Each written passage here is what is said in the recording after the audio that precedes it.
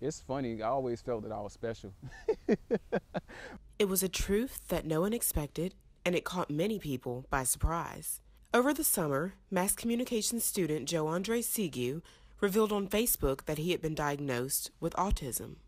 The reason that I went public on Facebook is because, you know, I just felt that everyone they needed to know that what I was going through. According to the National Health Statistics Report, 1 in 45 children aged 3 to 17 have been diagnosed with autism, a developmental disorder that affects a person's ability to communicate and interact with others. Known for his extroverted nature and sense of humor, Joe Andre doesn't fit the typical idea of an autistic person, causing his friends to react with disbelief to the news. Autism has a lot of shapes and faces and forms.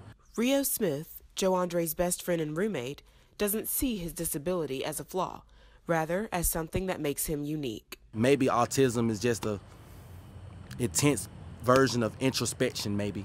The idea of self-love and self-acceptance, right, is revolu- is a revolutionary way of thinking. Through years of reading self-help books and frequent counseling, Joe says he has gained insight about himself, becoming more vocal and confident in spite of his diagnosis. I am me. I am my authentic self. I said it's crazy out here. It's maybe lazy out here. It's few days. Autistic people, you know, they love to be alone. You know, be, and not because they don't want to, you know, be bothered or anything. It's because they have, they're probably doing other activities like art, you know, fashion, design, because they're highly creative. You know, they're highly creative people. While he had no difficulty making friends growing up, his need for solitude and a creative flair made him stand out among the other children at school. I was an odd kid. I was just super different. I met a lot of people who, you know, eh, they, they try to pick on me, try to bully me, but I wasn't having that. For people with mental, physical, and emotional challenges, it can be difficult to feel accepted among their peers. So, how does Joe Andre move beyond the insecurity that might come from his mental disability? I just don't care. Why would I care? Why would I care about what somebody got to say about me?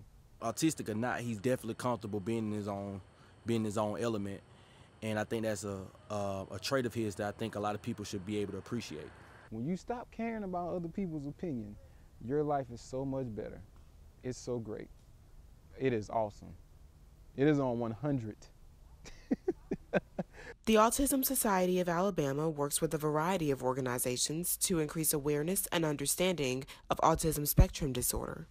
To learn more or to donate to their cause, visit www.autism-alabama.org. Reporting for Falcon Weekly, I'm Carmela Williams.